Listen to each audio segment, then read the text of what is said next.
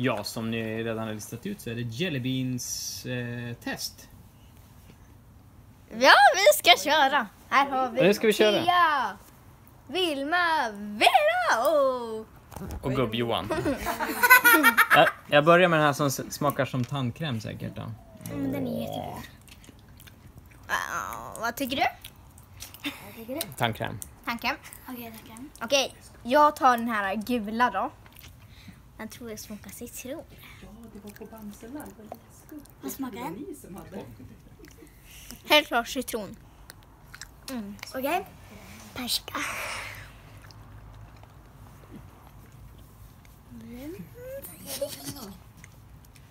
Smakar den där? Vad smakar den? Vad smakar den? Persika. Persika! Rosa.